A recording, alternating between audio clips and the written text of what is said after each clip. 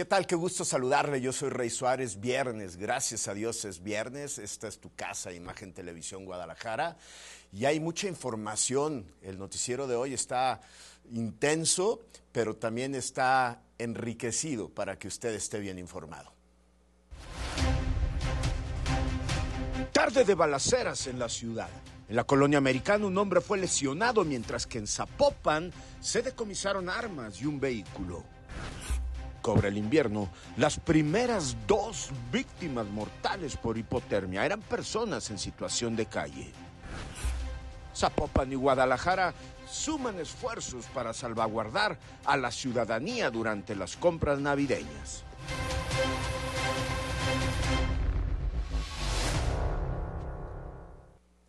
Comenzamos con nuestra información. Quédese con nosotros. Confirma el gobernador Enrique Alfaro la captura de cinco hombres relacionados con la desaparición de los cinco jóvenes de Lagos de Moreno y el ataque a elementos de la Sedena en Teocaltiche. Luego de haber entregado la iniciativa de reforma de ley en el Congreso del Estado para otorgarle un presupuesto constitucional a la Universidad de Guadalajara, el gobernador de Jalisco, Enrique Alfaro, aceptó que la Secretaría de la Defensa Nacional detuvo a cinco hombres relacionados con la desaparición de la quinteta de amigos de Lagos de Moreno, desaparecidos desde agosto. Ya hay detenidos desde antes de esta última detención, eh, pero en específico sobre este operativo, porque también al parecer eh, las personas estas están vinculadas al ataque al ejército. Eh, acordamos que sea el propio ejército el que dé la información porque ellos coordinaron la operación.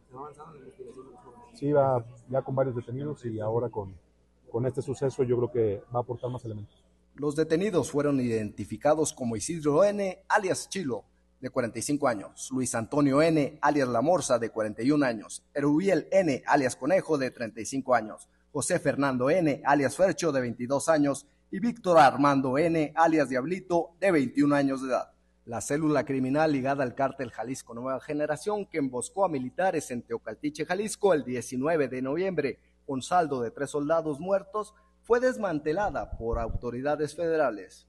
A dichos sujetos también se les relaciona con la desaparición del 11 de agosto del 2023 de Roberto Olmeda, Diego Lara, Uriel Galván, Jaime Martínez y Dante Cedillo, todos del municipio de Lagos de Moreno, de los cuales hasta el momento no se tiene pistas de su paradero. Para imagen, Ernesto Gómez Camacho.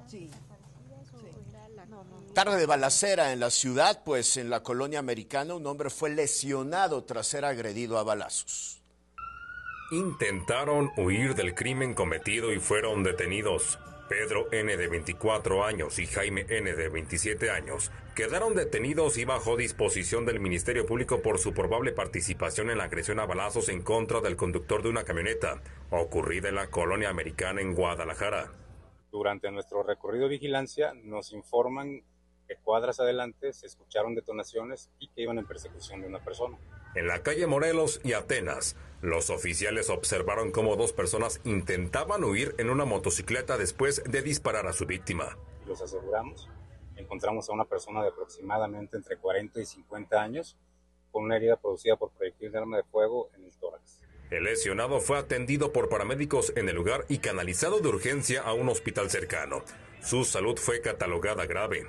Se habla de un vehículo sedán que también estaría involucrado en los hechos, pero de este no se aportaron mayores características. Para imagen, Israel Orozco.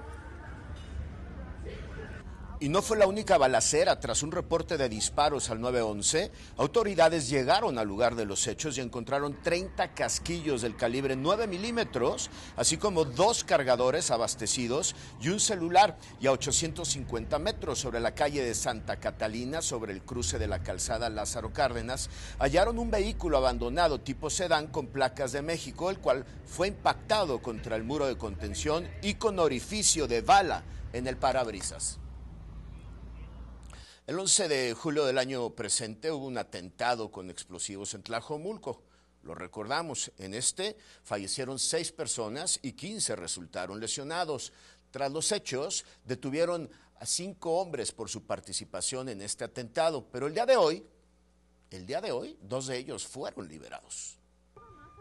Puestos en libertad dos de los cinco sujetos detenidos por su presunta participación en el atentado con explosivos ocurrido en Tlajomulco de Zúñiga el pasado 11 de julio, donde fallecieron seis personas y 15 más resultaron lesionadas. Hablamos de Salvador Alejandro M. y Alejandro A., a quienes se les imputaban los delitos de falsedad de declaraciones y encubrimiento. A través de un juicio abreviado, obtuvieron una suspensión condicional de la pena. Además, el Tribunal de Enjuiciamiento les dictó una multa de 6.950 pesos y por concepto de reparación del daño deberán dar un donativo de mil pesos cada uno al Hospital Civil Fray Antonio Alcalde. También se les fijó una fianza a cada uno por 1.500 pesos. Los otros tres tres detenidos continúan en prisión preventiva, ya que se les atribuye haber sembrado los explosivos que mataron a seis personas, entre ellos cuatro policías. Para imagen, Israel Orozco. Y el invierno cobró sus primeras víctimas mortales. Se trata lamentablemente de dos hombres en situación de calle que murieron por hipotermia. Presumiblemente a causa del frío, dos personas en situación de calle fallecieron en la zona metropolitana de Guadalajara.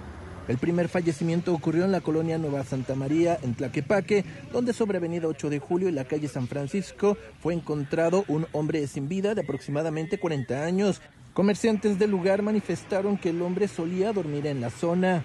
Más tarde se reportó que en Guadalajara, sobre el cruce de Juan Pablo II y Francisco Icaza, en la colonia Belisario Domínguez, otro hombre de 60 años en situación de calle murió probablemente también por hipotermia. La víctima fue localizada debajo de un tejabán cerca de una parada de autobús. Los dos cuerpos se encuentran ahora en el Instituto Jalisciense de Ciencias Forenses, donde se esclarecerán las causas de ambas muertes. Cabe señalar que a pesar de ser uno de los estados más cálidos, Jalisco ha experimentado un descenso significativo en la temperatura debido a los frentes fríos número 15 y 16.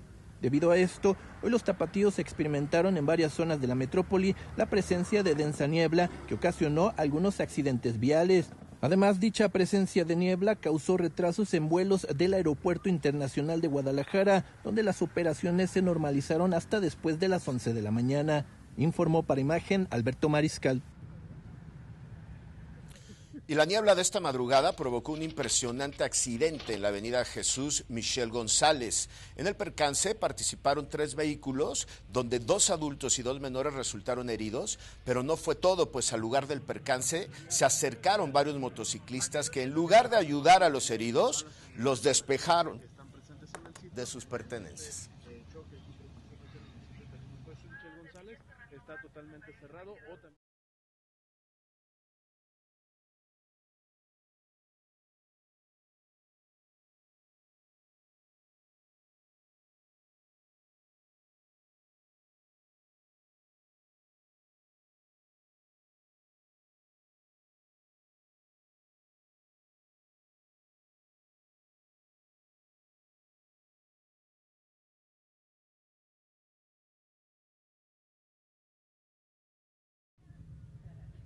La niebla de esta madrugada provocó un impresionante accidente en la avenida Jesús Michel González. En el percance participaron tres vehículos, donde dos adultos y dos menores resultaron heridos.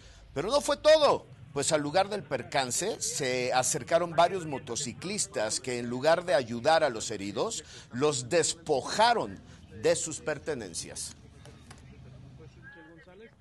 Tras el feminicidio de Maika Torres, la joven venezolana de 38 años, fueron vinculados a proceso dos hombres por la desaparición y muerte de la joven.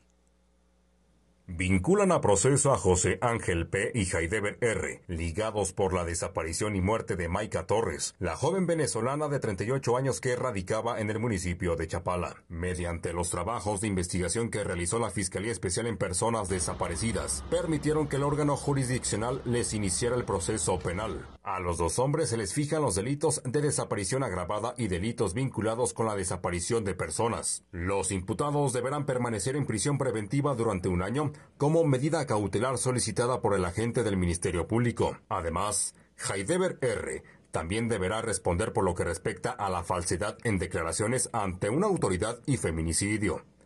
Para imagen, Israel Orozco. Y miren, otra información con personajes del mundo deportivo y autoridades, fue inaugurado el polideportivo Las Cuentas, esto en el municipio de Zapotlanejo.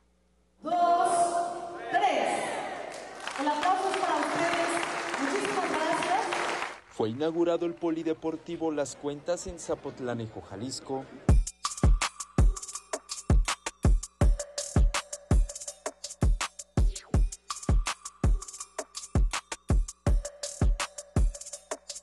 El presidente de Zapotlanejo, Gonzalo Álvarez, al lado del gobernador de Jalisco, Enrique Alfaro, de su hermano el boxeador Saúl El Canelo Álvarez y del futbolista Jair Pereira realizaron la inauguración oficial. Un sueño cumplido y es más que nada un sueño que yo tenía desde niño cuando yo veía a Saúl batallar en los espacios que teníamos que buscar para que él pudiera desarrollar ese talento que tiene, que como ya lo sabemos, él representa dignamente a México en el mundo. Estamos muy contentos de poder entregar esta infraestructura al municipio de Zapotlanejo, que es un trabajo eh, que hicimos de forma coordinada con el gobierno municipal, que eh, ha sido eh, de verdad un honor trabajar con Gonzalo estos años. El campeón de boxeo Saúl El Canelo Álvarez recordó que para él fue difícil salir adelante debido a la falta de espacios para poder entrenar.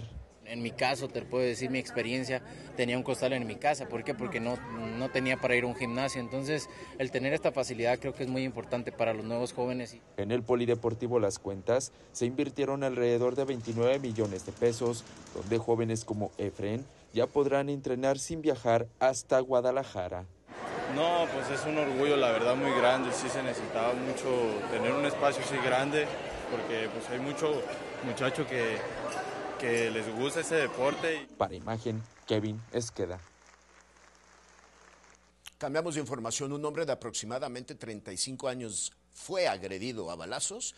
Esto en las calles de la colonia Hacienda del Vidrio, en Tlaquepaque. Fueron los vecinos quienes al escuchar los disparos alertaron a las autoridades del hecho. Pero a su llegada encontraron al hombre con una herida mortal en la cabeza. De los causantes, solo se sabe que escaparon a pie tierra, sorteando los vehículos de la transitada Lázaro Cárdenas. Un hombre fue agredido a balazos cuando circulaba en calles de la colonia Parques del Castillo en Tlaquepaque.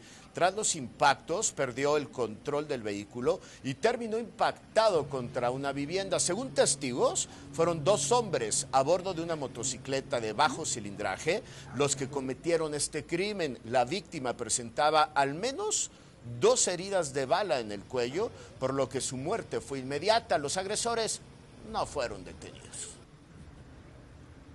Y por el delito de robo a una vivienda fue vinculada a proceso María de Jesús A, quien se hizo pasar como empleada doméstica para perpetrar este, el robo de la vivienda ubicada en la colonia Huentitán, El Bajo, todo en el municipio de Guadalajara. La mujer actuó junto a otros cuatro cómplices, quienes lograron apoderarse de un botín superior al millón de pesos.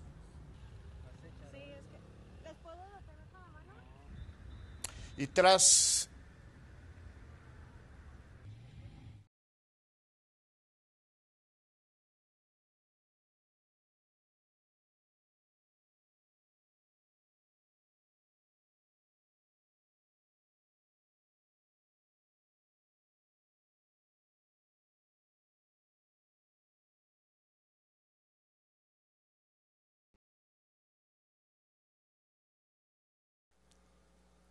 Y como cada viernes llega a Medrano el Tianguis Nocturno, que en esta temporada navideña es una excelente opción para usted, para su familia y así poder adquirir sus regalos. La vida nocturna de Guadalajara no para y para muestra un botón. Ese es el original. Y, y la tacita 95 85 mayoreo.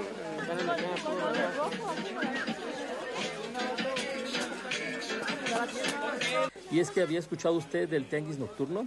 Así es, es el tianguis nocturno de ropa, calzado, accesorios y demás cosas personales.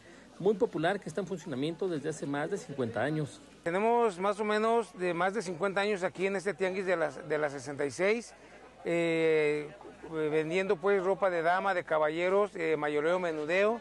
Eh, pues van a encontrar de todo, eh, dama, caballero, niño, ropa, sandalias, hasta termos, ahorita ya le estamos metiendo termo, estamos metiendo eh, zapato, tenis, o sea, todo lo que se te ocurra para esta Navidad. Y se ubica en los alrededores de la zona del vestir de Medrano en Guadalajara, específicamente en las calles 50 y la 66. No, pues se me hace bien, se me hace un horario flexible para todos para que pues puedan venir a comprar a todas horas. ¿Y hoy a qué vienes a buscar? ¿Qué vienes a comprar? Mi outfit de Navidad y Año Nuevo. ¿Cuánto tienes más o menos pensado invertir? Pues unos 1500.